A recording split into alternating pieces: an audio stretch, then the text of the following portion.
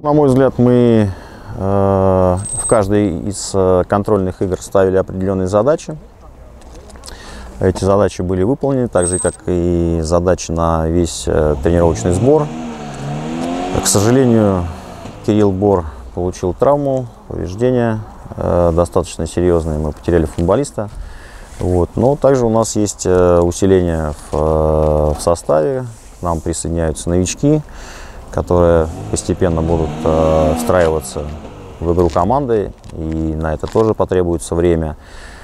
Ну, мы готовились с учетом того, что после первого тура, после возобновления чемпионата у нас еще будет достаточно, если не ошибаюсь, 13 дней, э, где мы также будем работать и планируем и новичков ознакомить со всеми принципами наш, на нашей, построения нашей игры и также привести всех э, к единому физическому состоянию. До конца трансферного окна еще есть время. Э, мы надеемся, что еще футболисты э, прибудут в нашу команду. На данный момент уже те, кто смотрел отчет о наших играх, знают. И Джефферсон, бразильский футболист, центральный защитник, достаточно габаритный и проявился неплохо.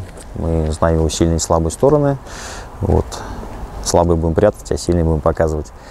Вот. Сегодня к нам э, присоединился Раймон Яси, голландский э, атакующий полузащитник. Э, будем смотреть, в каком состоянии и как он может э, нам помочь. И будем смотреть э, его функциональное состояние прежде всего.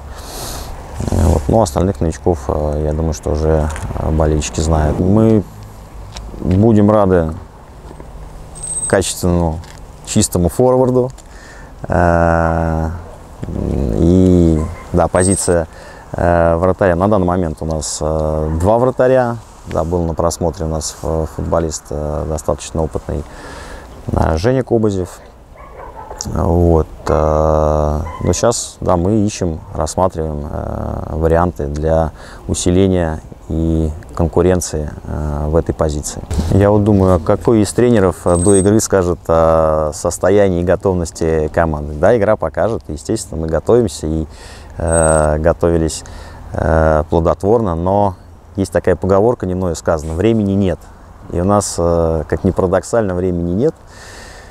И поэтому будем смотреть на состояние и улучшать состояние э, как в этой игре, так и после э, игры в паузу, которая предстоит э, с 19 по 4 марта.